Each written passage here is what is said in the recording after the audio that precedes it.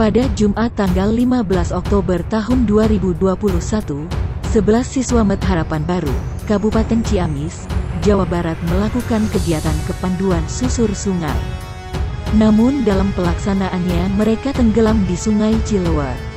Blok Kampung Wetan, Desa Utama, Kecamatan Cijenjing. Saat proses evakuasi, ditemukan pusaran di bawah air yang diduga mengakibatkan mereka tenggelam.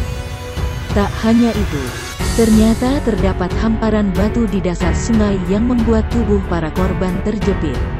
Seorang warga kampung Wetan, Ismail, 53, menyebut, lokasi itu sering digunakan untuk memancing oleh warga lokal dan luar desa.